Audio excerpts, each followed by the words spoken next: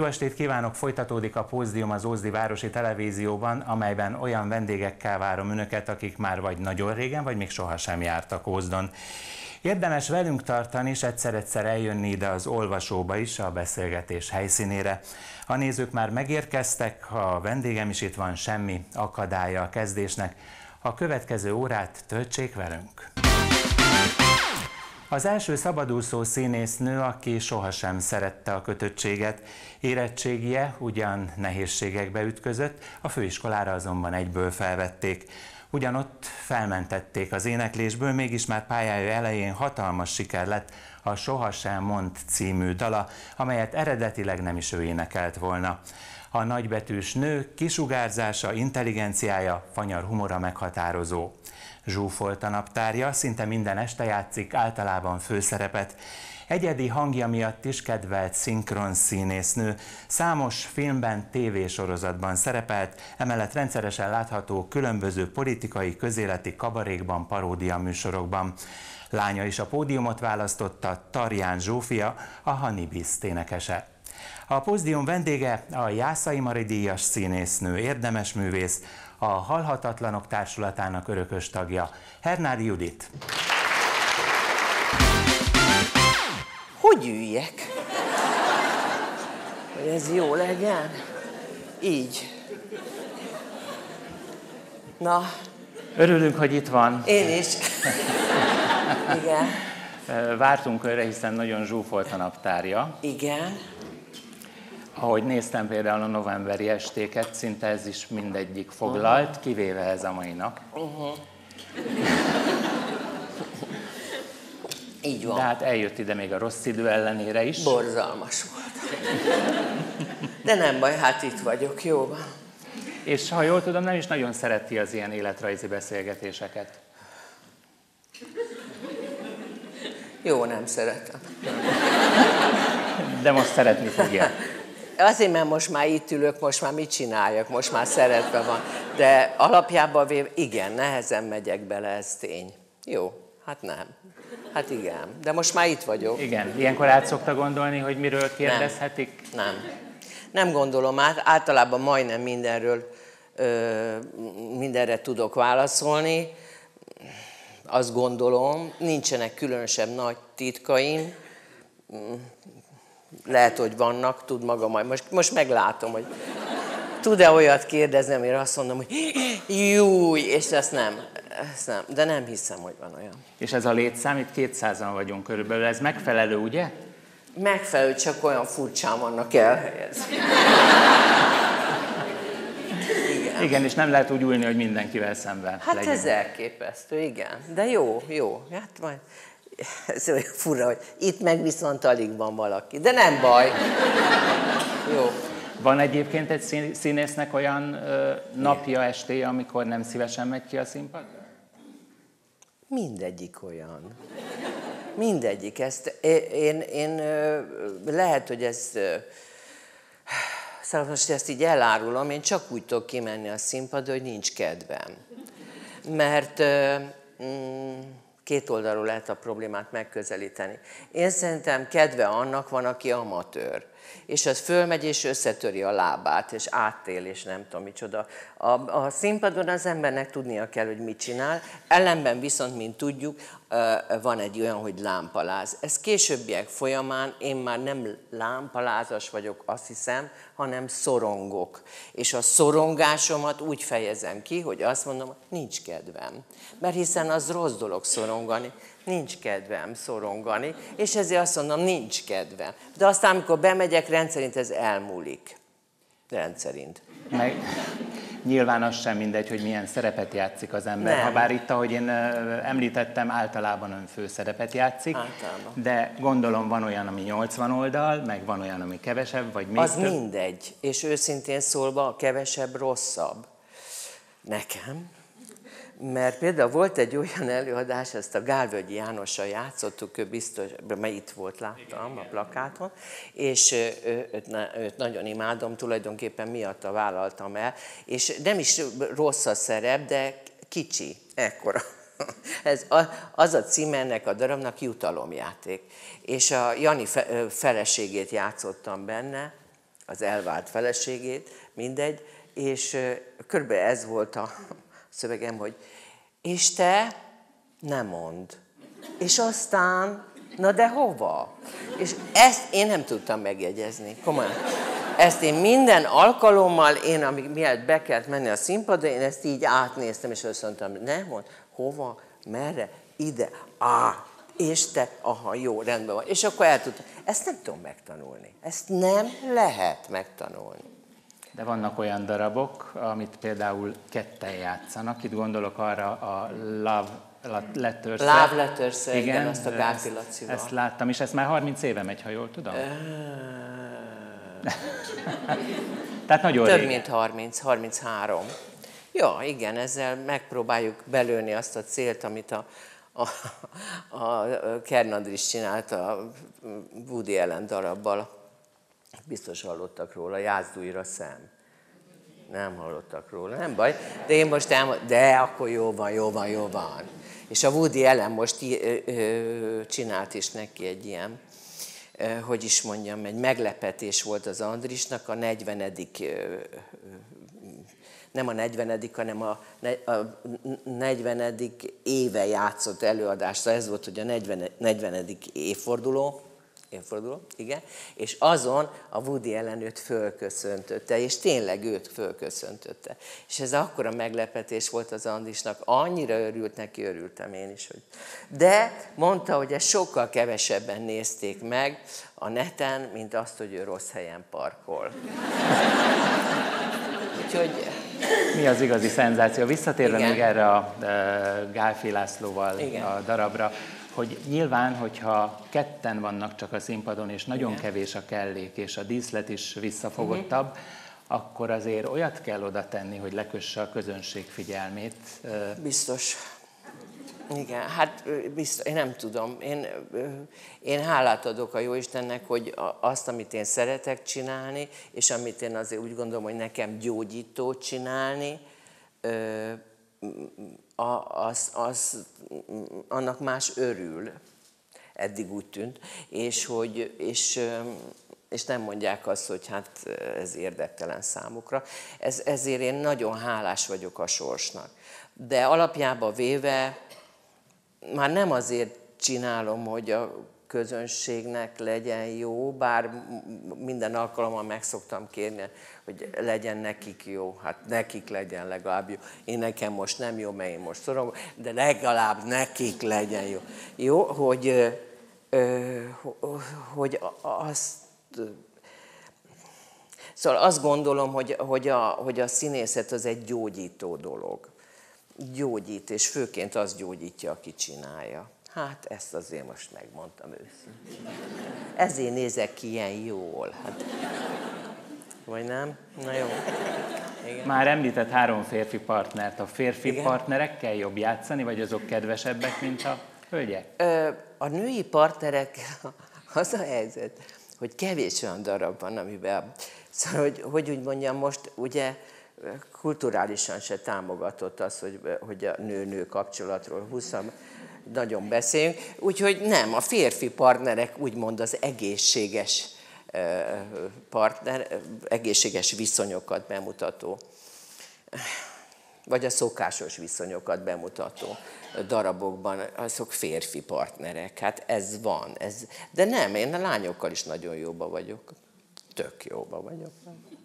Még itt a hangulatról kérdezném. Hát azt... játszom, a, a, mit játszom? Játszom egy olyan darabot, hogy nyolc nő. Abban esküszöm, csak nő van rajtam. Meg a menopauza. Meg a menopauza, abban négy nő van. Ez, ez, az, azok mind nő.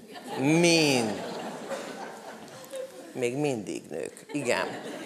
És hogyha nem olyan jó a hangulata, egy kicsit melankólikus vagy akkor depresszívabb, akkor is ugyanúgy eljátsza a vígjátékot. Ezt a lánya is mondta egy interjúban, hogy, Igen? hogy ez egy ö, csoda tulajdonképpen, de nyilván a színésznek ez a dolga, hogy hát bármilyen ez a hangulatban ez is a van. dolga, igen, ez a dolga. Igen.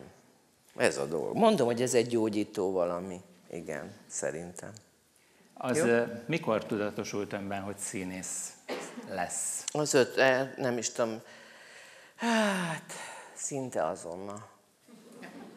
Nem nagyon akartam lenni más. Egyszer fizika tanár akartam még lenni, de elég hamar rájöttem, hogy ehhez semmi közöm nincsen. Első fizika órán, mint szoktam. Ez nem az én világom. És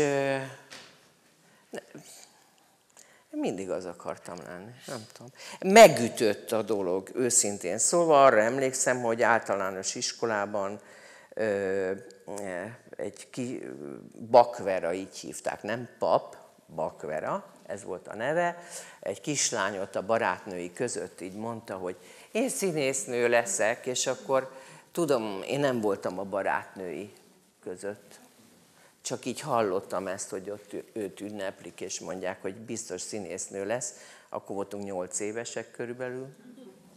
És én ott ültem hátul a padba, és azt, hogy egyszer megütött, effektív szinte ütést éreztem, hogy dehogy ő lesz, hát én leszek. Ez egy ilyen érzés, amikor az ember rájön arra, ami a dolga. Nagyon fura dolog. Ez, ez ö, ö, például a, a férjemet is így ismertem meg, sajnálatos módon, hogy igen, hogy, hogy a Pince Színházban voltam, és egyszer csak bejött hátul valaki, és életemben nem láttam tényleg, és csak ott nagyon messze láttam, és akkor annyit mondtam, hogy Úristen, akinek ez a felesége lesz. És erre én lettem. Szóval azonnal tudtam, hogy ezzel ez a reláció, és ez egy nagyon erős valami.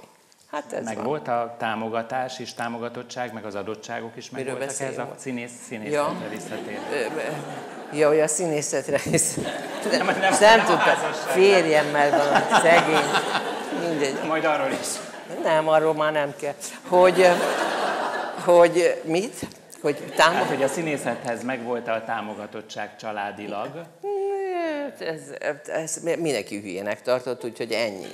Ennyi. Ez nem tudom azt mondani, hogy ők nem támogattak. Hát persze, hogy nem támogattak. Ki az a normálisnak mondható ember, aki egy nem túl szép kislánya, aki soha meg nem nyilvánult abba, hogy ő szavalna, énekelne és aranyos lenne, soha meg nem nyilvánult ebbe, csak bambán néz maga elé, és azt mondja, hogy színésznő lesz, és akkor azt kell mondani, ezt, ezt nem lehet támogatni. Ezt nem lehet. Erre azt kell mondani, hogy ne, ne, ne, nem, nem, legyél te valami más, ami még megbírsz tanulni, mert ez borzasztó. Tényleg, hát nem, ez normális, ez egy normális dolog. Tényleg, édesanyám szegény elvitt engem balettot tanulni, annyira béna voltam. Retteltes volt. Ezért én most elmondom neked, jó, de el, én meg az én lányomat vittem el sajnos. Őt, őt, őt meg, ő másképp volt, nem balettba, hanem éppen ezért, ezért én őt elvittem judozni. És az bejött? Ugyanolyan hülyeség volt. Ugyanolyan. Igen. Igen. Szóval az általános iskolában már ez kiderült, hogy színésznő lesz. Igen. Aztán jött a gimnázium. Számomra derült ki, másnak nem. Én, én tudtam, én. Aztán mondjuk rövid ideig jött a gimnázium, ennél rövidebb gimnázium évei kevés embernek voltak. Meg két évet sikerült? Két évet voltam, igen, akkor kirúgtak, és akkor utána ilyen roham tempóba um, próbáltam túlélni azt a másik két évet, amíg föl, fölvételizni tudtam a főiskolára. És a második két év az ugye levelező Az alatt mentem férjhez, mert azzal, azzal ment az idő. Egy Meg kipróbált más szakmákat? Ja, hát muszáj volt, mert elmentem ugye dolgozni, mert ki, ki, kirúgtak a gimnáziumból, és akkor az ország összeséből rúgták ki az embert. Ez most mindjárt nem sokára ugyanígy lesz, mert mert minden ugye egy kalapban van most megint, mint akkor is egy kalapban volt. Ez nagyon hasonlít ez a két dolog, de mindegy, a, a lényeg az, hogy, hogy a, egyikből kirúgtak, kirúgtak a másikból. Nem nagyon vacakoltam ezzel, muszáj volt elmenni dolgozni, és akkor elmentem egy évet egy bölcsödébe, mert a gyerekektől féltem, és gondoltam, hogy akkor erre legalább alkalmas lesz ez a dolog megijedtem tőlük nagyon, de hogy ez, ez így alkalmas, ezt az évet erre szánom, hogy most megtudjam, hogy harapnak-e vagy nem. Igen, és aztán kutyáktól is féltem, de már azoktól sem féltem. És, és aztán meg elmentem gépi adat köz, rögzítőnek, ami azt jelenti, hogy lyukkártyát lyukasztottam. Nem volt jó. Nem volt sikeres inkább, nem? Hogy nem hát jó. Nem, jó se. Hát mi ebben jó? Hát semmi, időnként meg, megcsapott az áram. Bol. Akkor fölébredtem. Rettem. Nem, ez egy, nem voltam sikeres, igen, látom, utána olvasott valóban. Úgy körülbelül minden 20.-25. kártyát fordítva írtam be, mert nem tudom miért, nem tudom. Szóval így volt írva, hogy 1, 2, 3, 4, és akkor egyszer csak azt hittem, hogy 4, 3, 2, 1. Nem tudom miért. De nem azért, mert akartam, így sikerült. És akkor az érettségi valahogy összejött, aztán utána lehetett menni felvételizni. Érettségi az nagyszerűen jött össze, de azt most nem mondom el, ez túl bonyolult. A lényeg az, hogy előbb vettek föl. Előbb nem mentem el érettségizni. Ér, ér, megmondom őszintén, ez alatt a két év alatt kettőt tanultam meg. Akkoriban, ez ma viszont meg már nincs így, volt egy szociális háló. A szociális hálóból nem lehetett kiesni. Nem lehetett kiesni, most igen. Most igen. Ö, nincs is háló. Egy nagy lyuk van, abszolút. Ö, szóval egyszerűen az volt, hogy Szóval magyarul én azt mondták, hogy akkor el, el kellett mennem dolgozni, rendben van, hogy akkor estén tanulni. Egyrészt be volt írva a bizonyítványomba az a marhasság, hogy, hogy meg kell ismételnem az évet, és tehát magyarul ez, hiába két évet jártam gimnáziumba, miután második év közepén kirúgtak, és nem lehet akkor összevonni két évet, mert a negyediket semmivel se lehet összevonni, vagy nem tudom. Szóval a lényeg a lényeg, hogy, hogy, hogy az volt beírva, hogy évismétlés. Én meg úgy éreztem, hogy nem akarok évismételni, és nekem ebből elég volt, és hogy el kell mennem esti iskolára. És az esti iskolával is problémáim voltak. Szóval minden iskolával. Engem már akkor iskolában nem lehetett beültetni, soha többet. Soha. Engem vissza akartak venni a gimnáziumba. Vissza is hívtak. Persze ismétlése, évismétléssel. És akkor egyszerűen azt mondtam, és ott, ült így a, a, a, ott ültek a tanárok, és így gondolták, hogy most kegyet gyakorolnak, és azt mondják, hogy visszavesszük. Ha, itt a haig nem jutottak el, mert azt mondtam, nem akarok visszajönni. Nem, de hát akkor mi lesz magában? Nem jár? Nem járok. Nem akarok ide, se máshova. Nem, nem, nem ülök be iskolapadba. És akkor elmentem dolgozni, ők keresztet vetettek rám, de ez engem nem érdekelt, mert én tudtam, amit tudtam. Azt az egy irányú utcát, amibe be kellett akkor mennem, hogy vagy színésznő leszek, vagy semmi. Ez volt, és ez egy nagyon zavaros érzés, mert az ember mégiscsak fél, hogy talán mégse sikerül. Na, és akkor ugye az volt a, a, a lényeg, hogy elmentem dolgozni, Ja nem, és akkor le kellett tennem az ér, a, nem ezt az évvizsgát, és, és ugye ezt meg kellett szüntetnem, ezt a lehetőséget, hogy, hogy, szóval, hogy, hogy nekem három évet kelljen még gimnáziumba járni estén, és azért ezt a kis izét, amit így beírtak a bizonyítványomba, ezt ilyen egyforintos okmánybélyegekkel leragasztottam. Ezért mindenki megnyugodhat, nem lehet belőlem politikus, mert, mert, mert okmányt hamisítottam, és No, és akkor így elmentem valahova, és így gyorsan odaadtam, és akkor egy év, évzáró vizsgát tettem, és az nem tudta, hogy ez oda be van írva, és, és akkor, már meg, akkor már lapozni lehetett a bizonyítványba. Csodálatos. És akkor megpróbáltam én ezt az esti iskolát, de amikor azt mondták, hogy be kéne járnom, akkor azt mondtam, adják vissza bizonyítványomat, és elmentem máshova. Úgyhogy a 8, 28 helyre jártam, abba hagytam az estit, elmentem levelezőre, ahol a levelezőn szóltak, hogy legalább egy konzultáción részt kell menni, azonnal elmentem onnan. És leérettségiztem. Sajnos nem tudom azt mondani, hogy kitűnőre, mert az volt az egyetlen egy év, amikor megfelelt volt, vagy nem megfelelt.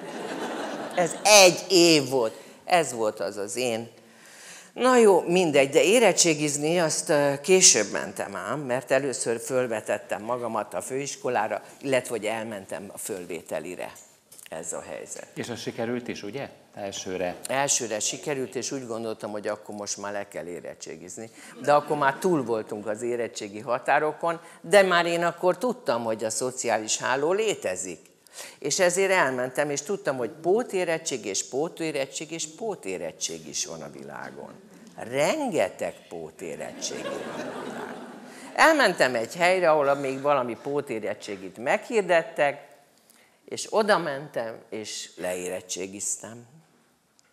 Nagyon szemtelen voltam akkor, mert annyira, annyira szemtelen voltam a mindenféle rendszerrel szemben, mint azóta is.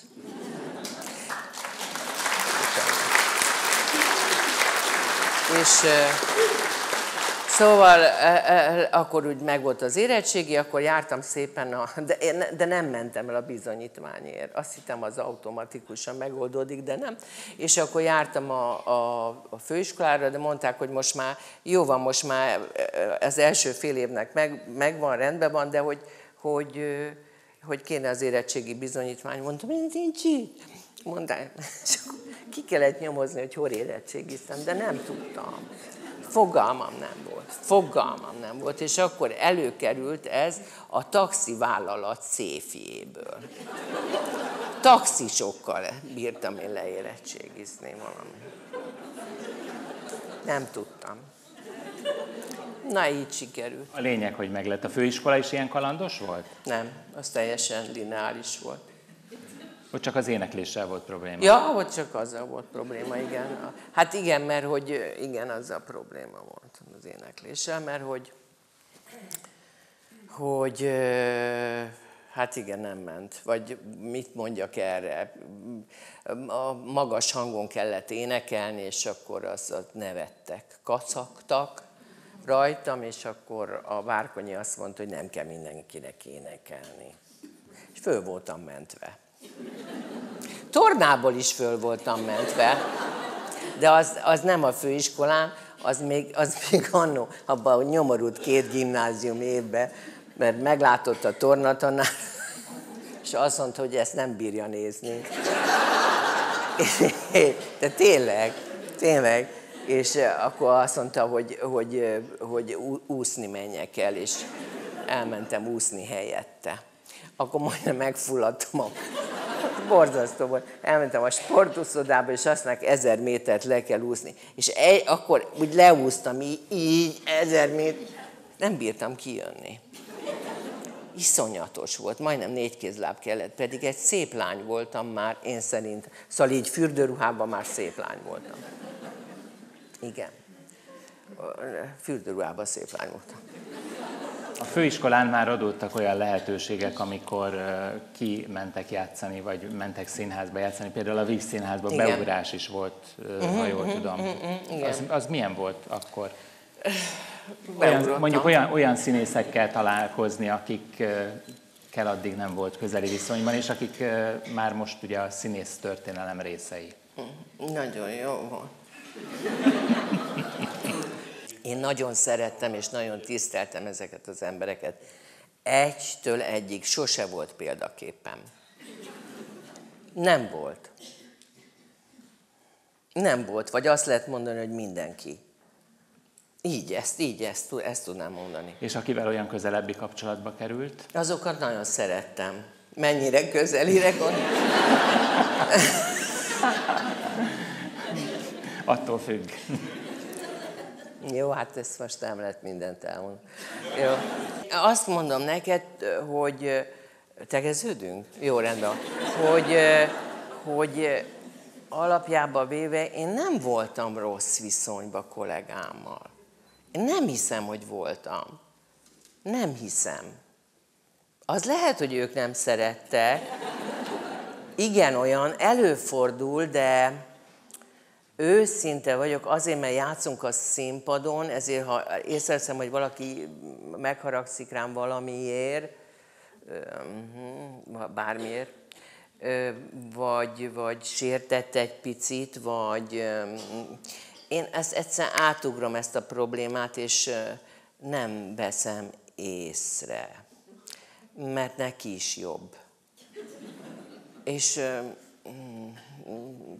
szóval, ha meg olyan, hogy meg kell beszélni, akkor azt megbeszélem.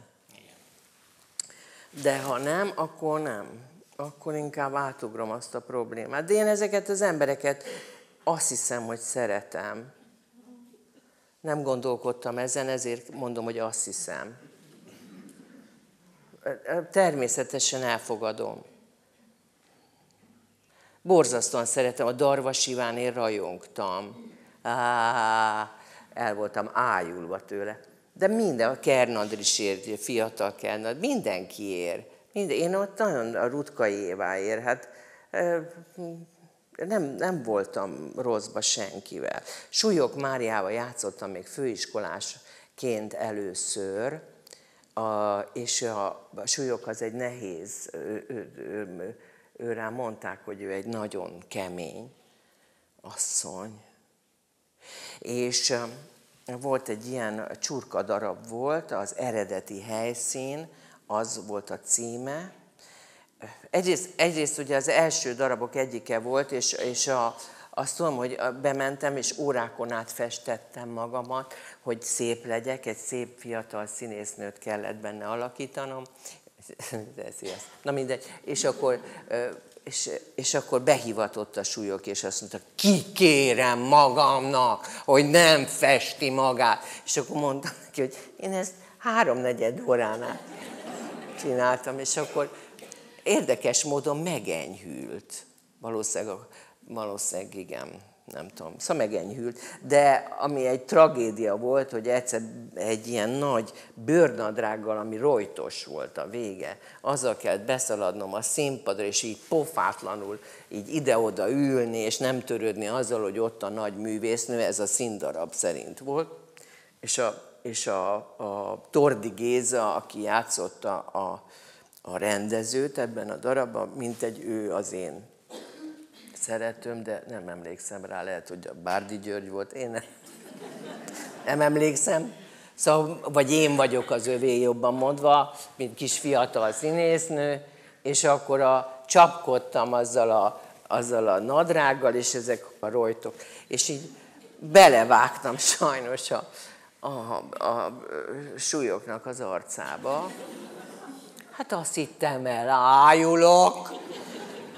Hát én nem voltam magamnál szünetig, ott álltam ki, lerágtam, azt hiszem, azóta ilyen rövid az ujjam. Szóval az össze mindent lerágtam, majd meg pusztultam. És akkor jött ki a színpad, és mondtam, jaj, bocsánat, nem direkt volt, nem. Jó, nem, nem, kész, ezzel el volt intézve.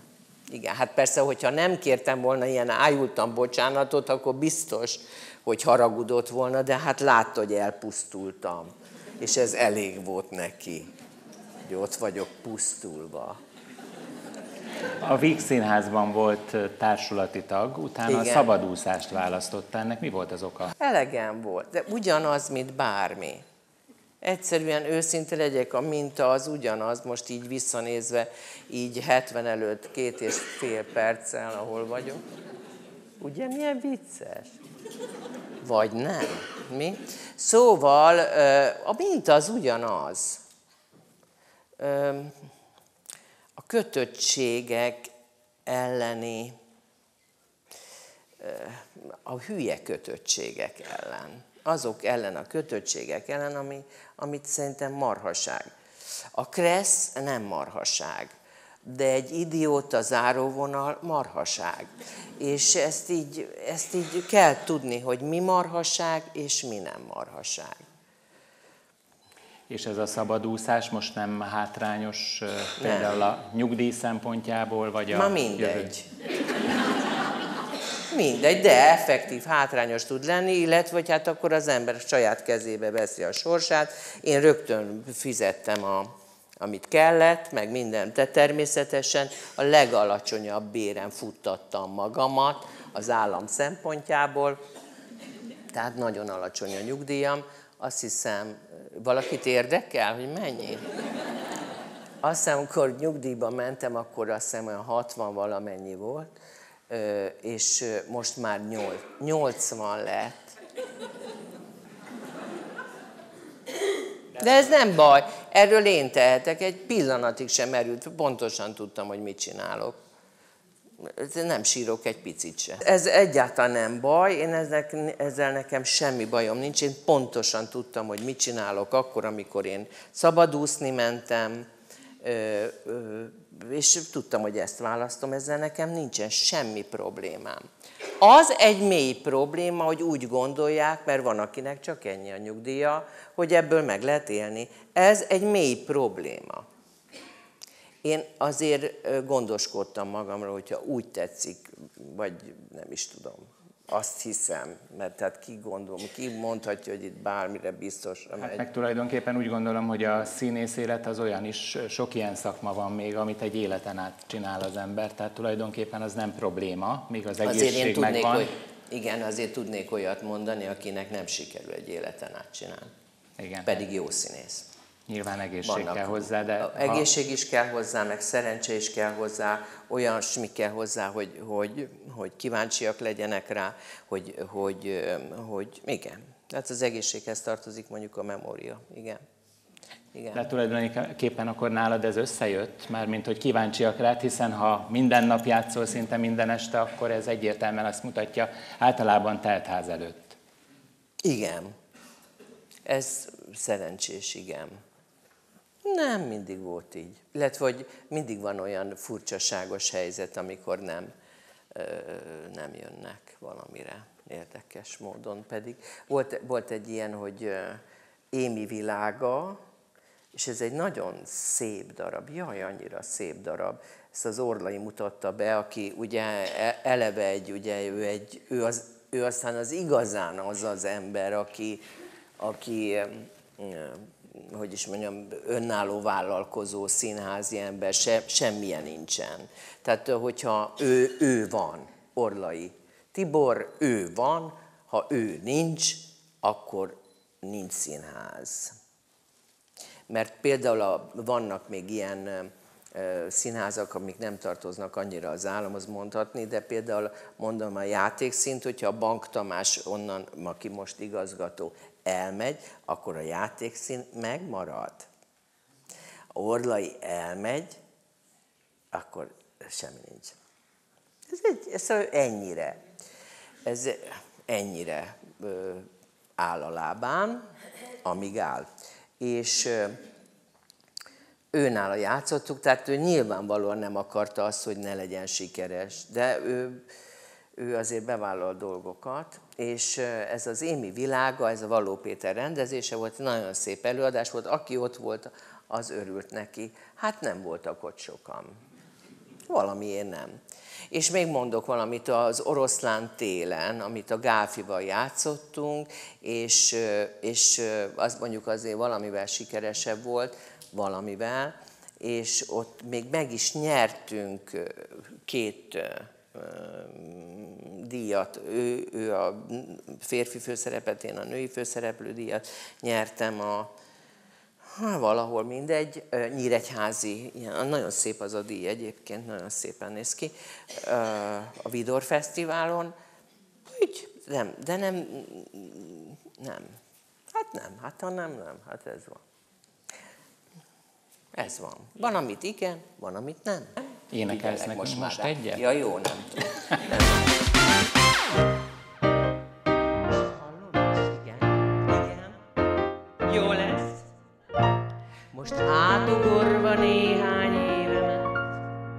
hadd mondjam el egy szép emlékemet.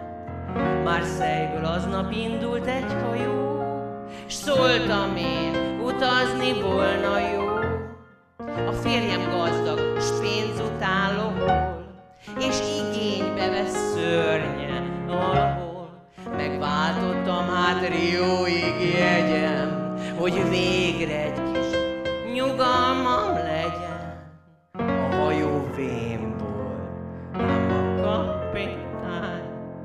fiatal volt, büszke és sivány, még nem láttam évak merős fanyokolt, már az első este lázasan dalolt. Szenyorita, az arcom lázban él, Szenyorita, magát kerestem rég, Szenyorita, szeresse hát belé, esküszöm belehalok, ha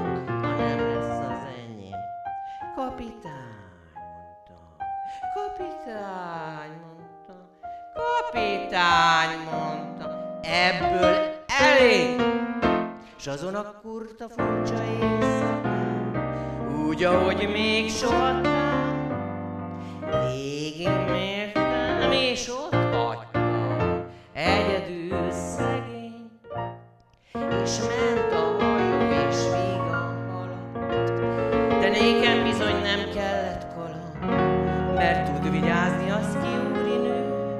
s nem fog könnyen ölbe hullni ő. A kapitány az persze ostor, de nem kapott sebére flastron. Hiába sírt szívének nagy baján, nem engedtem be kabinom ajtaján. Bár ismétlem, szép volt a fiú, a tisztességre voltam én.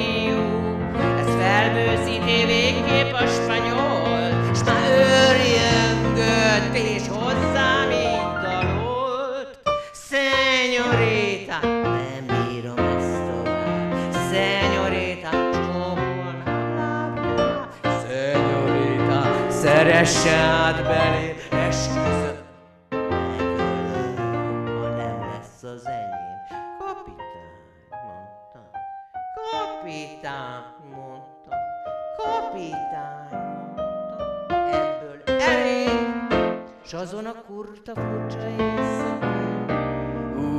úgy, ahogy még sohatán, képen vágtam, és ott hagytam, egyedül szegény, ment a hajó, és elérkezett az utolsó nap. Egy éjszaka, és véget ér az út, a hajó kiköt, mert Rióba jut, és estelecs közelget végzeten. A fedélzeten, csak ketten voltunk, ami helytelen. A tenger mély volt, s csupa rejtelen. Egy pillanat, s felém hajol, s már karjaiba ránt a bősz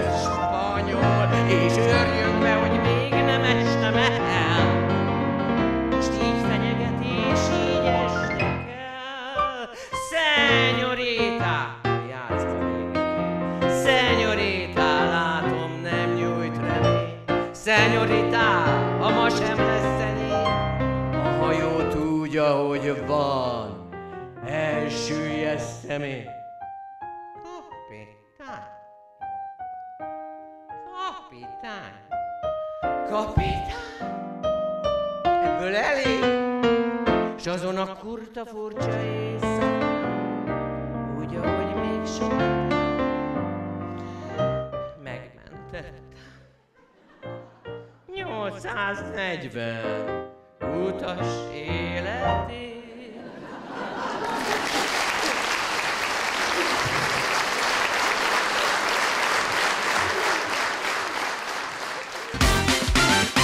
Ez a szabadúszás egyébként ott tartottunk, ez Jó. ugye akkor jött, mikor a baba is érkezett, tehát Igen. ez össze Jaj, a lányom, esett igen. egy időbe, igen. Igen. Nyilvánvalóan ő is befolyásolt abban az ő érkezése, hogy ezt az utat Hogyne, választ. hogyne, hogyne. Egyszerűen arra gondoltam, hogy ha már így van, majd a gyerekem egyszer csak megkérdezi, hogy anya, most hova mész este? És akkor én nekem azt kell mondanom, hogy hát megyek dolgozni, játszani, és te szereted, amit ma csinálsz? És akkor én nekem úgy 30 napból, ami egy hónapban van, ugye körülbelül, jó legyen 31, abból mondjuk olyan 25-ször azt kell mondani, hogy nem, nem szeretem, amit most csinálok. És olyan, van olyan hat nap, amikor igen. Mert hogy azért ugye a Vix Színházban ugye nagyon sok olyasmit is kellett csinálnom, ami, ami én nem rajongtam. Mondjuk azért talán ennél jobb volt az arány, de mindegy. De bármennyi is, hogyha egyszer ezt kell mondanom a gyerekemnek, és akkor aztán azt mondja, hogy akkor miért mész el, hogyha neked az nem jó ott. És akkor azt mondtam, hogy igaza lenne, és még mielőtt megszületett volna, még föltette volna ezt a hülye kérdést, azelőtt én azt mondtam, hogy kész, befejeztem. Elmegyek szabadúszni, lesz, ami lesz, és olyat fogok csinálni, amit szeretek. Meg hát tulajdonképpen ez azért is volt így jobb, Miért? mert hogy egyedül vállaltad azt, hogy felneveled a gyermeked. Ja, igen. Hát igen, hogy ő tudja. Hát ezen én már átugranék, mert már mindegy. Jó. Igen. Eh, amin ne ugorjunk át, az az, hogy voltak nyilván segítőid. Ez a doboz nem véletlen van itt. Ja, jó, néztem. Eh, Igen, az előbb Kóc, Kócián Évi van egy olyan. Kócián Évi. Most jöttem el Borsod-Nádasnál, és Borsod Nádasdán, ő, ott, ott, ott a lányom Borsod Nádasdra el is vitte őt, és a mai napig emlegetjük ezt, és ezért van az, hogy, hogy én, aki komolyan mondom, szól, hogy, hogy ilyen, hogy állatok mennek, kis libák, meg ilyesmi, szóval ezektől én teljesen ki vagyok, de ő, ő olyan szinten, olyan szinten megtanulta ezt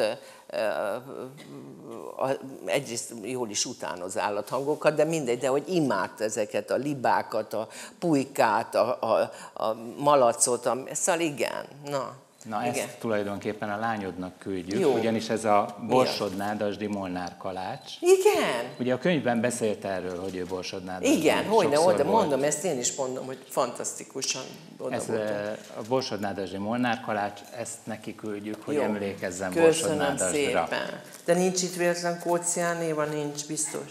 Nincs. Mert ő azért Pesten lakik, tudom. De hogy eszem, eszembe jutott, hogy Kócián néva, amikor most eljöttem Borsodnádasra, meg hogy Balaton azon is, akkor úgy fönn voltam akadva, hogy miért van itt Balaton. De, de igen. Most ha már a könyvet megemlítettem, beszéljünk egy kicsit arról. Jó, beszélj. Azt is elolvastam egyébként, és nagyon eh, izgalmasnak Szép. tartottam szinte. vicceltem, vicceltem. Nagyon olvasmányosan és érdekesen Igen. van megírva, meg nyilvánvalóan, hogy őszintén beszéltek mindketten, párhuzamosan egymás mellett Igen. vannak a fejezetek, ahol mindenki elmondja a maga látásmódjából Igen. azt, hogy hogy élt meg bizonyos dolgokat. Igen. Ez nektek mit jelentett ennek a könyvnek az elkészülte? Jó, Istenem! Ugye az a címe, hogy nem maradjon kettőnk között. Ez egy uh-huh. friss könyv viszonylag, 21-ben. Nem, tavalyi volt, vagy tavaly igen, előtti? Igen, 21-ben talán. Igen, igen. Ö, figyelj, nagyon sokat jelentett az életünkben, két nagy lépés volt ilyen szempontból, vagy talán mondanám, hogy három. A, először is azt szeretném elmondani, hogy nagyon nehéz dolog, nem tudom honnan kezdjem, ahol, ahonnan frappánsan tudom ezt elmondani. Most idén voltam Kínában, ez egyáltalán tartozik ide szinte, de ö, ott egy, egy általam vadidegen emberrel, akivel ugye ottan mentünk ide-oda Kínában, magyar volt, nem kínai, szegedi, mindegy, és akkor mondtam, hogy a lányommal most hogy vagyunk, vagy miként vagyunk, ami egyébként már sokkal, szóval kiegyensúlyozottabb a viszonyunk, de megint együtt lakunk most, és ez most olyan azért ez nehéz dolog, két felnőtt embernek egy lakásban lakni. És akik már elszoktak egymástól, ezt hozzá szeretném tenni, és, és akkor azt mondta nekem a, ez a lány, aki egyáltalán nem ismerte a Zsófit, vagy engem közelebbről, azt mondta, hogy egy, egy lánynak mindig meg kell haladni az anyját. Hát téged meg hogy lehetne?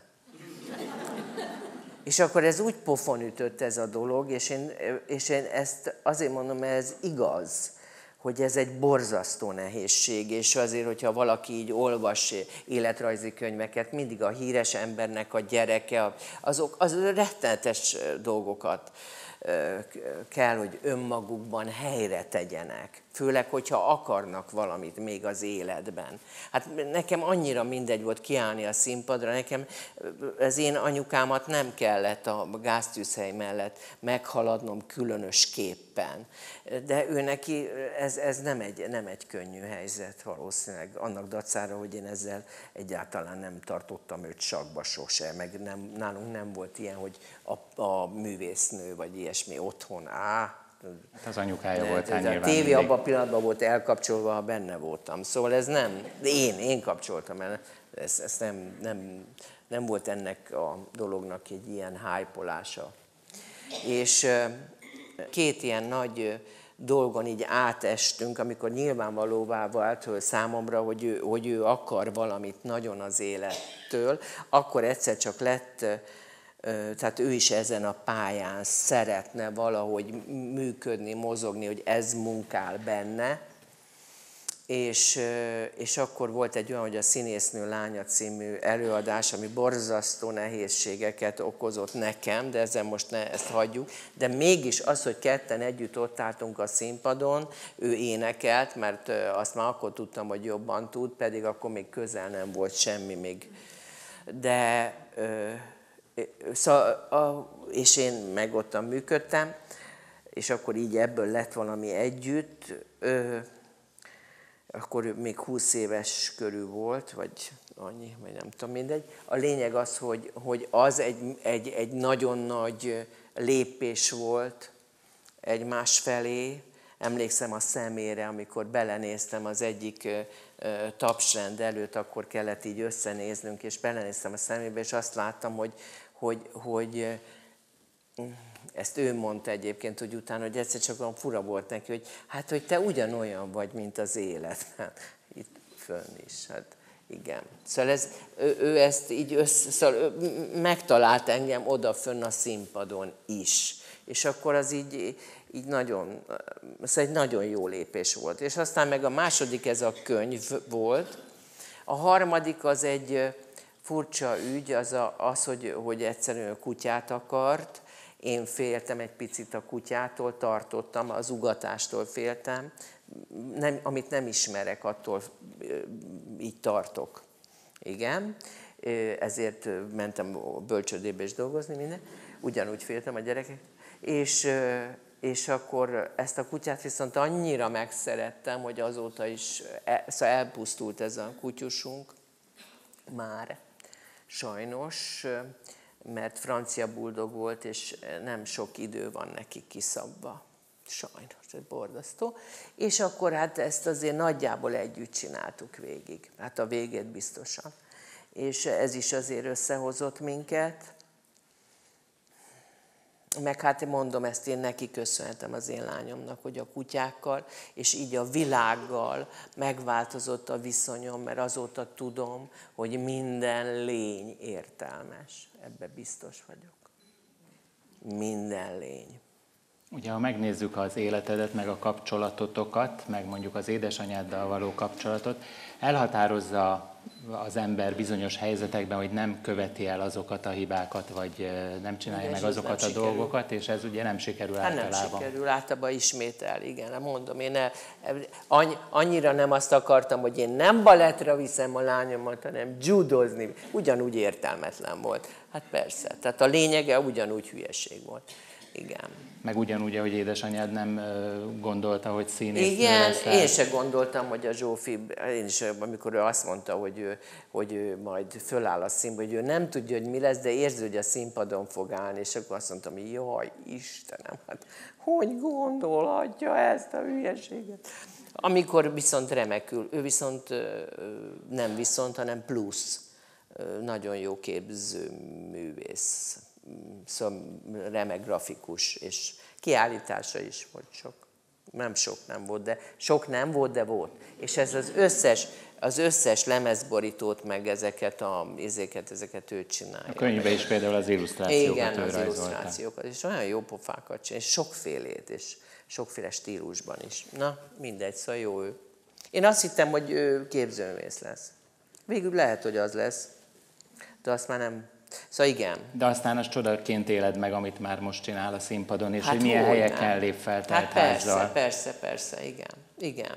Most ezt el kell mondjam? Hát igen, Mit hogy mondjam? ilyenkor nyilvánvalóan nem, nem színésznő vagy, hanem egy édesanyja, aki büszke hát, a gyermekére, és Nem, én ugyanaz az érte. ember vagyok, aki fölmegy a színpadra is, és közben egy édesanyja. Erre jött rá a gyerekem, hogy ez semmi különbség nincs. Ez ugyanaz, a, ugyanaz az ember, ugyanazokból a sejtekből, és ugyanazokkal a gondolatokkal. Komolyan, szóval ez teljesen mindegy. Teljesen mindegy. De te jót akartál neki akkor is, mikor úgy gondoltad, hogy 19 évesen jobb, hogyha külön lakik. Hát persze. Hát hogy ne? Ezt meg mondjuk ezt az én anyukám is így gondolta, de azt én jól, azt én például nagyon, én annak nagyon örültem. Például, hogy én kaptam egy, egy kis lakást, én azért borzasztó boldog voltam. Tény, hogy az én anyámék azért csinálták ezt, egyrészt meg volt rá módjuk, másrészt meg azért, mert hogy én férjhez mentem, és a férjemet egyáltalán nem akartam otthon tudni, tehát vettek egy mini garzont.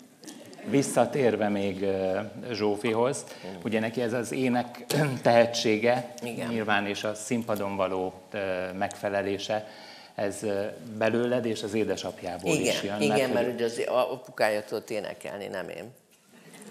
Én nem tudok, én csak szoktam. Az, igen, a apukája azt tud, tud énekelni, igen. És egy ilyen koncertet te hogy élsz meg egyébként, hogyha a lány a színpadon van? Isteni. Nagyszerű végignézni, most is fogok majd menni, azt hiszem. Valamikor, már be, egyrészt jövőre beír, beírtam a Budapest Parkba, ami lesz, Nyilván te akkor nem válasz fellépést. Nem, nem azt ilyen? én elintézem magam. Hát ezért vagyok szabadúszó, kérem, én ezt én intézem. Én, én nem várom meg, amíg más beosztja az életemet nagyon. Bár így is úgy is más osztja be, mert más osztja be, mert azt mondja, hogy, hogy megkínál egy szereppel, azzal, akkor, akkor, az, akkor az más dönti el. Arra én mondhatok igent, vagy mondhatok nemet. Szoktam nemet mondani. De hát csak arra lehet, amivel megkínálják az embert, ugye? Ez nyilvánvaló és, de, de ilyen egyeztetések, azt én, én nem várom ki. Nem. Szépen írok mindenkinek, akivel dolgozni szoktam, írok egy ilyen kis izét, kikérő-szerű, mert hogy én azért mégse vagyok egy intézmény. Tehát nem kikérő, hanem kikérő-szerű. És leírom, hogy mikor mit akarok csinálni. Ide akarok jönni Ósztra. Azt is valahogy így Például, vagy Kínába. Vagy Kínába, igen. Azt, azt, azt meg kellett oldani, azt, hogy októberben volt ez a... Hát ide, ideje korán meg kell oldani, igen. igen. Azt az elején tisztáztuk, hogy nem vagy szinkron színésznő, de, nem vagyok. de filmszínésznő. Se. És sok film, de sok, film, sok én, filmben szerepeltél. Hát annyira sokban nem. Én bírtam volna többet elviselni. Hát ilyen 30-40 legalább, nem? Igen? Á, nem én hiszem. Úgy néztem. Nem. Igen? Igen. Hát nem. Lehet, hogy is szépen lassan így összecsurgott. Nem tudom. TV-játékok, tévéműsorok. A, a tévé, a tévé az igen, én tévés voltam. Én tévébe dolgoztam. Hát sokan. gondolom, akik itt ülnek, sokan látták azokat a tévéjátékokat, amiben hát például Gálvölgyi igen, Jánossal. Igen, igen. Igen, meg a szeszélyes évszakok. Azok főleg kabarijátek voltak igen. tulajdonképpen, amit nagy bátorsággal vállaltam el, mert akkoriban ezt nagyon lenézték. A kollégáim nagyon lenézték, de én nagy bátorsággal bevállaltam, már csak azért is, mert egy, ö, jól csináltam, másrészt mert, mert gyorsan megvolt. Igen. Meg volt ez a Pasik sorozat, amire én az előbb Azt utaltam. szerettem speciál. Hát két olyan emberrel játszottál Hát igen, főként, azt szerettem, akiket... és akkor már más volt a világnak a sora, mert akkor már, már a ö, kereskedelmi televíziózás volt, és annak egy, egy, egy, még egy jobb korszak, amikor még voltak benne próbálkozások arra, hogy szitkomokat, vagy valamilyen mm, fél, szóval valami ilyesmiket hozzanak létre, amit ezelőtt, előtte húsz évvel úgy lenéztek volna az én színész kollégáim, hogy kell, ekkor már irigykedtek. Igen, és tudom, hogy még van, akik így fiatalabbak így mondják, hogy Istenem, és akkor nézzük, hogy volt telepódium, meg ilyenek, és hogy hát az, azok voltak, és na hát, és akkor mondanám, hogy akkoriban Hát ha kimondtam, hogy telepódiumra megyek, akkor művészet alja. De nem baj, mert én azt jól csináltam. És én ezt tudtam, hogy azt jól csinálom. Igen. Hát ez van. Mert hogy te drámai színésznőnek gondoltad magad, de az kiderült hamar, hogyha komolyan beszélsz, akkor is nevetnek. Mint hogy most is. Igen. Igen. De van, amikor sírnak életem, hidd el. Van, komolyan mondom. Van, amikor sírdogálnak az emberek, rendesen. A heti hetes. Uh-huh. Abba hogy kerültél be, vagy egyáltalán hogy Pilátus a Prédóban? Nem. Egyébként nem. Hát úgy, hogy, úgy, hogy akkor az Ónodi György, aki annak a szerkesztője volt, akkor e, mielőtt ez elindult volna a műsor, akkor embereket szedett össze, és összegyűjtött neveket. Nagyon sokat. És abban sok nő volt. Nem volt kevés. Szóval olyan nagyon sok nem, de, de több, mint egy heted. És, és, és akkor voltak ugye ilyen, először ilyen próbafelvételszerű, abban még ott részt is tudtam venni, és akkor kiderült, hogy majd azért majd fognak hívni, és akkor elindult az adás. De amikor elindult az adás, én szolnokon játszottam még hozzá, azt is tudom, hogy mit, mert a, a Lüzisztrátét játszottam szolnokon, és annak voltak ugye próbái, bemutató, stb. Nem tudtam én följönni itt hetente ottan. Úgyhogy az első adásokból én kimaradtam, és aztán mégiscsak, amikor már bemutattuk, akkor, akkor már közelgett a, a november körül lehetett, október-november, tehát már úgy közelgett az év vége felé a dolog, és akkor én beültem egy ilyen adásra, ami ugyanígy közönség előtt zajlott, és aztán az olyan két részletbe ment, tehát volt egy szünet is, és, és utána megvágták egy adásra. Mondjuk az unalmasabb, vagy a veszélyesebb részeket, ki tudja. Szóval kivágták, amit akartak. És, és akkor már azt gondolták, hogy na most utoljára próbálkoznak nővel, mert ez nem jön össze. És akkor beültem én, és nem volt az azért annyira jó, de aztán még egyszer, mert mindenkit kétszer beültettek, azt tudom, és akkor, akkor, akkor én megtaláltam a, a módját, mert a Verebes Pista szólt, és azt mondtam, hogy hát gondoltam, hogy beülök, és ami eszembe jut, úgy mondom. De a Verebes Pista mondta, hogy erre picit készülni kell. A készülés az abból állt, hogy az ember elolvassa ezeket a híreket, és, és a háttéranyagokat is, tehát jobbról és balról is elolvastam, az, amit akkoriban össze lehetett szedni háttéranyagot, azt azért odaadták az ember kezébe, és akkor azt úgy kigondoltam, hogy mit tudnék mondani, akár vicceset, akár nem, és akkor ezzel a kis, kis picike kis jegyzetekkel ültünk be, és rendszerint mindig valaki más el is mondta helyettem, mire eh, nem baj, de ez nem volt baj, tényleg nem volt baj, mert, mert, mert e, ettől úgy bele lehetett menni az, az egésznek az áramlásába, részt lehetett ebben a dolog. És akkor erre én rájöttem, hogy így készülni kell, és, és akkor így megtaláltam a hangot ebben a dologban. És ez ment is legalább tíz évig, ha nem tovább. Több, mint tíz évig. Én tíz év után valamikor, én már akkor ki akartam szállni, amikor tíz éves lett, de ö, lojális voltam a többiekkel, és szeretném elmondani, hogy ez egy olyan műsor volt, hogy minden alkalomra külön szerződtünk. Nem anyagilag, mert anyagilag ugyanannyi volt, de ö, hanem minden alkalom, ö, tehát bárki bármikor mondta azt, hogy nem. És ez nálam ennél jobban nem lehet megfogni engem. Engem csak így lehet megfogni, hogyha azt mondják, hogy akkor mész el, amikor akarsz. Hát ez, ez, és akkor sajnos nem tudok elmenni. Mert akkor a lojalitásom, és éreztem azt, hogy, hogy nem lenne jó, ha fölállnék. Tehát az, az azért jelentene valamit.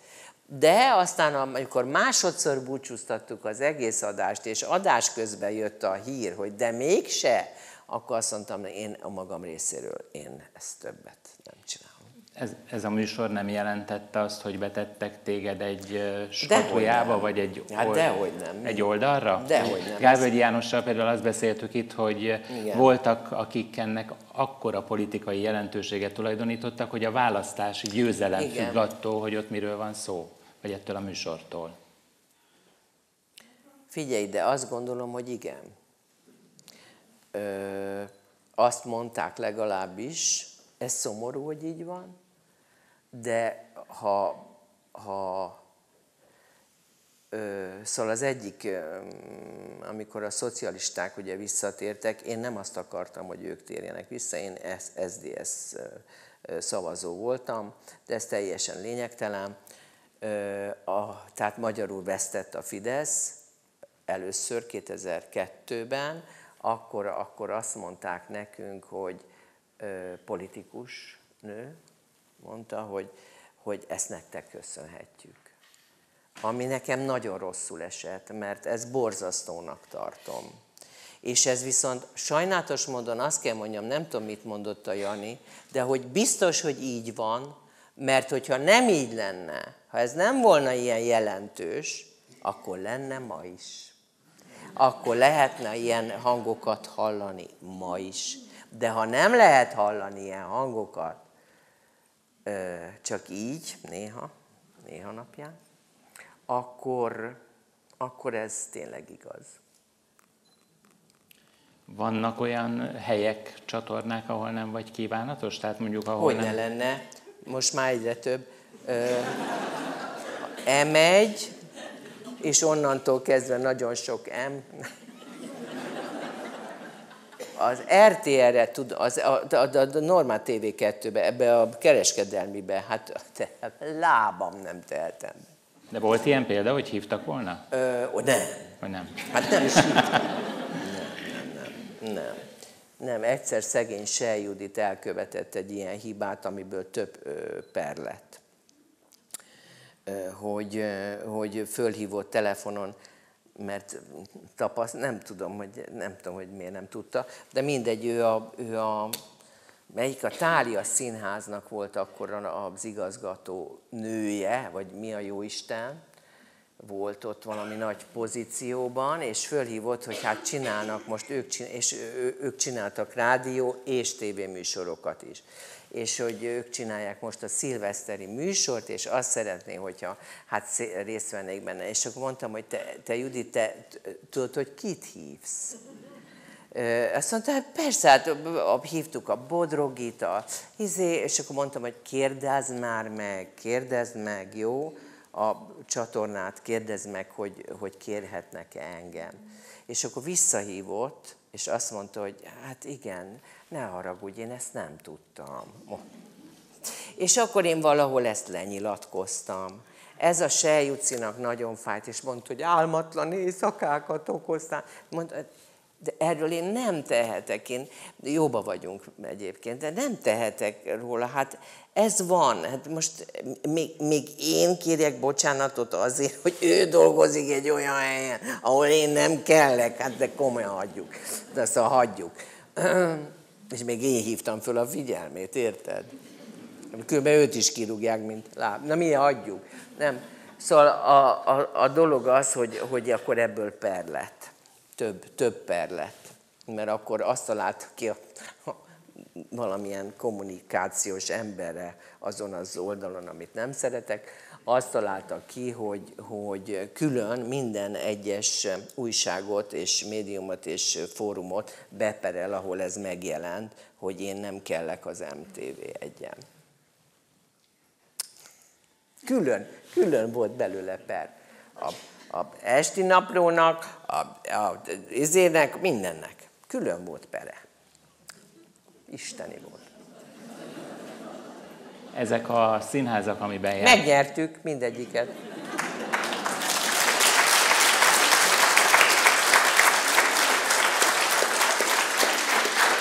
Ezek a színházak, amiben játszol, ugye Belvárosi Színház, Orlai Produkció, Igen.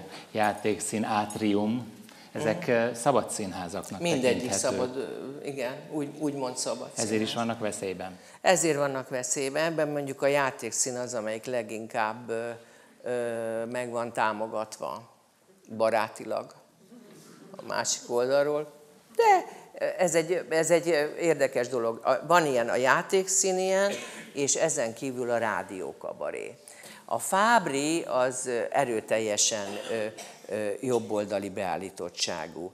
Ettől függetlenül, és én nem, nem is igazán szerettem ezt, meg nem szerettem, ahogy beszél a műsoraiban, meg nem tudom micsoda, ettől függetlenül megcsinálta úgy a rádiókabarét, hogy azt mondta, hogy senki nem szólhat abba bele, hogy ki ír bele szöveget, és ki szerepel benne.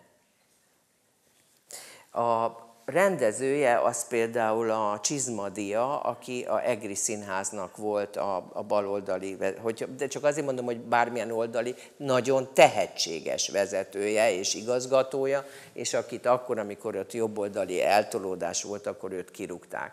Tehát szóval az a Csizmadia, és, és, és többek között például én is ott vagyok, azt hiszem azért, mert képességesen tudom ezt csinálni, csak, és, az, és szóval az a vicc, hogy a humor az, az nem, tud, nem tud jobboldali lenni. Nem tud. Komolyan mondom. Ez valami egész vicces. Nem megy. Nem megy.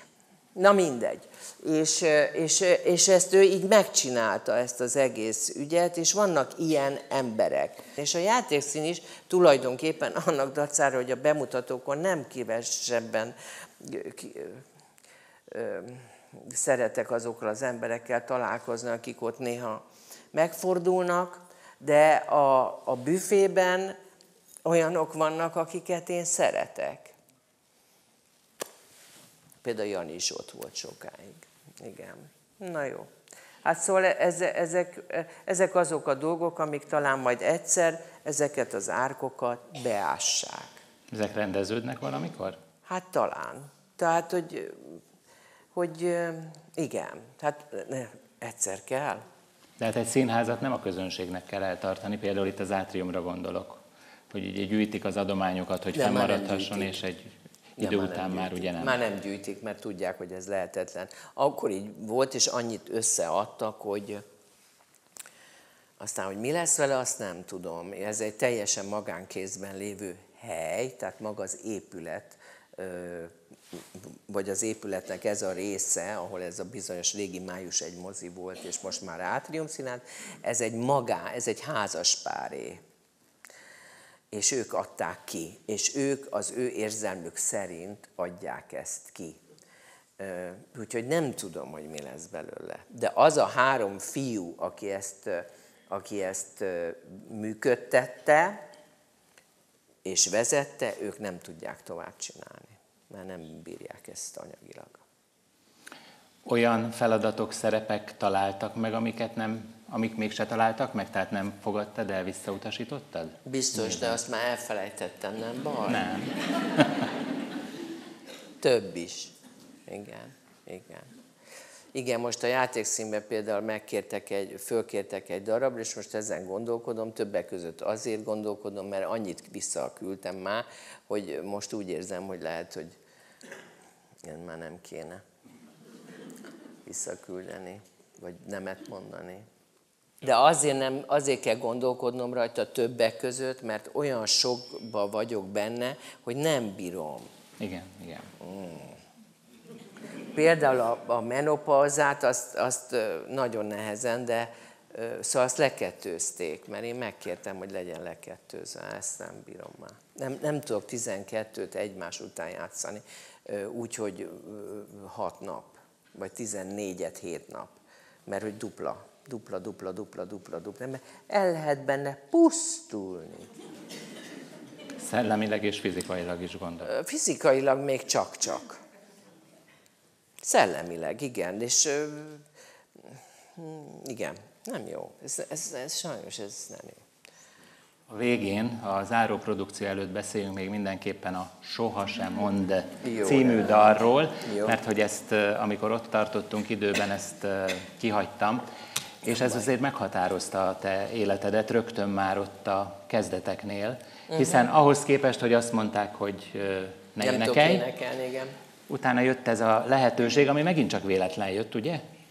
Ez véletlen jött, igen, de volt sorrendileg más volt, várjál.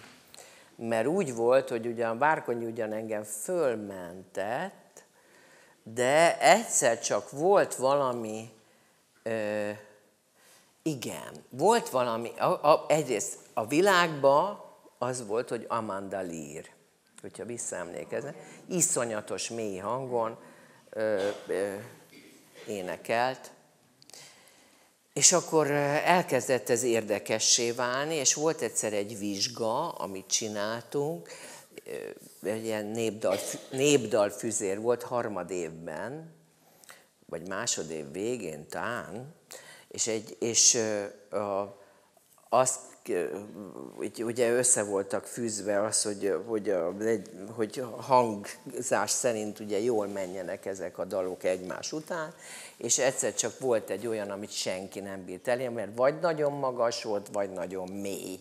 És akkor én mondtam, hogy én ott mélyen el tudom ott dörbögni. Ami nagyon vicces volt, azt jelentett, hogy meg kell a búzának érni, a minden nap bánat éri. Ezt, ezt énekeltem én így. És akkor az, az nagyon nagy hatása volt az ember. Egyrészt furcsa volt, és, és akkor úgy kiderült, hogy még valami hang csak kijön belőle. Mintha olyan, mint egy doromba akkor is. És akkor ö, volt egy olyan, ö, a, a Gatspelben a Mária Magdaléna dala főiskolán már nagy színpadon, az Ódri színpadon csináltuk, és a, a Brody írt hozzá szöveget. Fú, nagyon jó volt, és a Mária Magdaléna dala az jó mélyfekvésű. És akkor azt én énekeltem, és az volt benne nagyon jó, hogy még oda jöttek nekem hozzá, hogy ne úgy énekeljem, hogy a Brody írta, mert ő írt bele egy olyan sort, hogy, hogy talán a nép lehetne boldogabb, de véle hatalmas, nagy hatalmak játszanak, és hogy én azt énekeljem, hogy nem nagy hatalmak, hanem hatalmasok. És így, igen. Igen. Amíg a nép elbódítottan él, addig az igazság nem lesz lágykenyér. Tehát egy ilyen jó kis szöveget írt, és nem. Én azt mondtam, hogy ez, ez a színpad hatalma, nem azt énekeltem, amit hanem amit én akartam. Júj, ne haragudj. Én akar. Én azt mondtam, nagy hatalmak, akkor nagy hatalmak. Jó, szóval mindegy, ez volt, és, és akkor innentől kezdve ez már így gurult magával. Volt egy, volt egy Adi film, amiben én énekeltem, ami iszonyatos nagyot bukott, azóta se láttam. Az a cím egyébként, hogy kilátott engem. Jó van, nem baj. És abban én énekeltem, igen, Mihály András szerzeményt, szóval látod, ennyire tudom. És akkor ott valami kis butaságot énekeltem Gyulán egy megnyitón, és ott volt a Verebes, meg a Dömezsolt, és látták, hogy én ottan hülyén ugrálok és énekelek, és úgy kiröhögtek engem, és aztán télen meg, meg a Kovács Kati visszaadta ezt a felvételt, ezt neki kellett volna énekelni egy filmen, mert azt mondta, hogy ez nem neki való a Soha sem mond. És ezt a Döme írta, meg a Verebes, és akkor ez hirtelen eszükbe jutott, hogy volt valami idióta lány ott, aki ott ugrált, hogy akkor azt. És ének évadján összeszedtek engem. De akkor berobbantál a köztudatba, ez azért lényeges. A, igen, akkor az úgy, az, úgy, az úgy, igen, az úgy elindult. Ez egy nagyon érdekes. És lett sok irigyed is rögtön. Nem tudom, ezekkel én nem foglalkoztam az irigyekkel. Ez, ez egy olyan dolog, hogy ez igen, igen, és ezt a gyerekemnek is mondom, hogy ha csak olyan van, akit szereti, akkor, akkor baj van.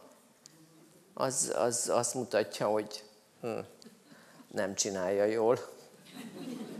Jövővel kapcsolatos tervek, vágyak, elképzelések? Nem, még élni szeretnék egy picit. Élni és dolgozni a színpadon. É. Mond, mondjuk jó, legyen úgy. Legyen úgy. Szeretném, ha mondanál nekünk egy verset. Jaj, mondjak. Rendben van. Ez, amit én most így hoztam, amit meg szeretnék osztani önökkel, ez tulajdonképpen ez egy, ez egy tammese. Ez egy verses példabeszéd, és a példa vagy a tan az a, az a keleti mitológiából vétetett, amihez egyébként én is nagyon vonzódom, és ez egy királyról szól. Ez, ez a példabeszéd, egy majom királyról szól, aki végtelen önzésében eh, elveszíti a mértéket, vegyük úgy. Szóval, és ez egy Szabó Lőrinc vers, az a címe neki, hogy Sungvukung lázadása, és a Szabó Lőrinc ezt 1938-ban írta, egész biztos, hogy másra gondolt, amikor írta, mint akire én gondoltam, amikor olvastam. És most önök arra gondolnak, akire akarnak. Sungvukung lázadása. Mikor Sung Wukung, a majmok királya, akit kőtojásból keltett ki a vénföld égnaps hold, különös szerelme a gyümölcsök, virágok szigetén, ki hős vezér és szent remete volt, de szívében mégis fenevad maradt, és feldulta a halál városát, és megette az égi barackokat, az Istenek eledelét, hogy örökké éjens lett mindenható, dühében a legfőbb trónt követelte és már senki sem moccant ellene, de jött Butha. És szelíd virág kezével intett, hogy a fegyverét tegye le. Ki vagy te, Jámbor? Ámult el a vad szörny, kitől a mindenség reszketett, és Butha felelt. A béke és a jóság. És azért jöttem, hogy megfékezzelek. A nagyszerű bokol szungvukunk, de buta, te vigyázz, még nem sejted, mit tudok, te se, hogy én mit, válaszolta a szörny, és mellét verve sorolni kezdte, hogy 18 ezer mérföldet repülök, ha egy bukfencet vettek. Átváltozom 72 féleképpen. Lehetek millió óriás. Ma már én vagyok a tökéletesség. Senki már, senki sem állhat fölöttem. A trónt akarom tiéd lesz, szólt Butha. Ha győzöl még valamin, az én hatalmamon. Mutasd meg, kibírsz törni innen, túljutsz-e rajtam, itt a tenyerem. Ha bukfencet kivisz belőle, nyertél. Ha nem, te fogsz engedni én nekem. Hát tetszett az Alku Sungvukungnak, őrült ez a buta, gondolta, keze alig nagyobb egy lótusz levelénél, igazán játék végezni vele. Hát jól van, lássuk, ki győz, te vagy én. Felemelkedett a levegőbe, és nevetve megállt butha tenyerén. Egyet ugros már messze szállt, és eltűnt a szörnyeteg, úgy hányta, hányta a bukfenceket, repült, repült, és a végső űrhatárán egyszer csak öt roppant oszlopot lát, látott, mely minden világok végén az ég felé lobogott. Még egy bukfenc, és már ott volt. És leszállt ott, ahol még nem járt. Soha. Senki se. Most én leszek a mindenség ura. De hogy itt jártam, nevemet fölírom. Inde a világ őrtornyaira, és csak ugyan fölírta középső oszlopra. Itt járt Sung Wukung király mert a szükség rájött egy másik oszlop tövébe, egyebet is csinált. És indult vissza. Repült, mint a villám. Megérkezett hegykén, leugrott Butha kezéről és ikoltott. No hát, ide a trón. A világ végén jártam, s ott hagytam a látogatás jelét. De Butha ránézett, lassan felemelte a kezét. Te majom, te te barbár ész és erőszörnyeteg. Hát azt hiszed, míg féktelen hatalmad, harc és önzés fűti. Te lebírsz engemet. Azt hiszed, kibírtál törni innen? Na nézd ide. Nézd középső ujjamat. Így járt, szungvugunk. Hát itt van, ezt te írtad. És nézd, piszkod itt a hüvelykem alatt.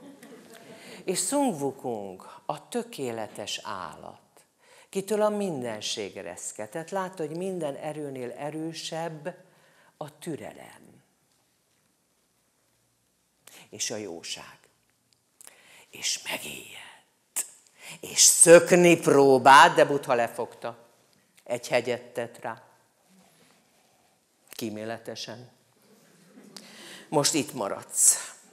Gondolkozz ezer évig. Ha új szíved lesz, befogad a menny.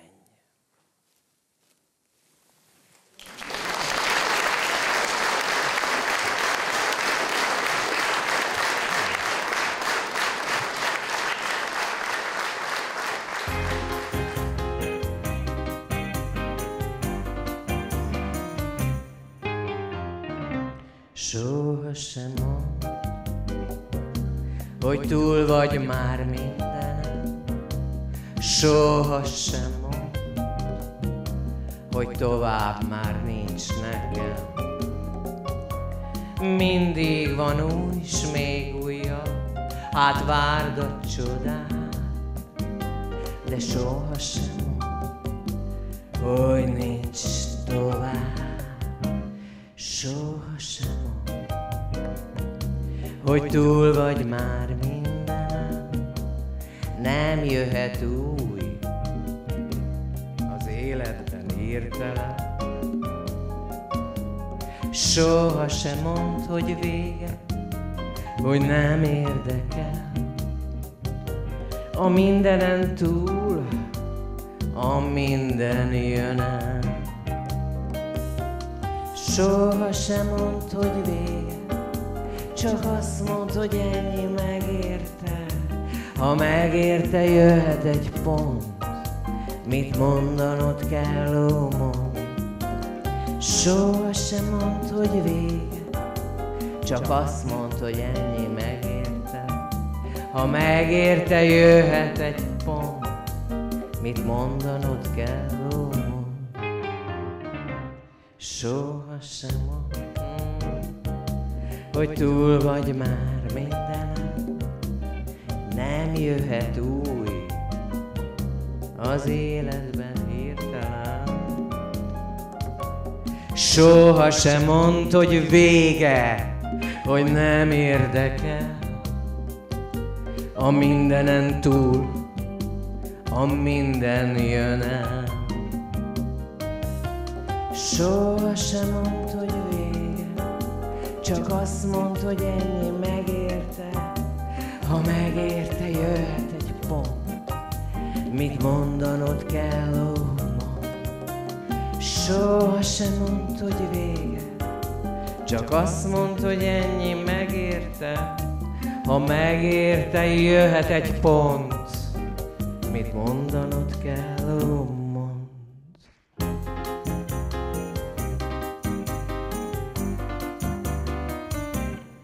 itt a pont.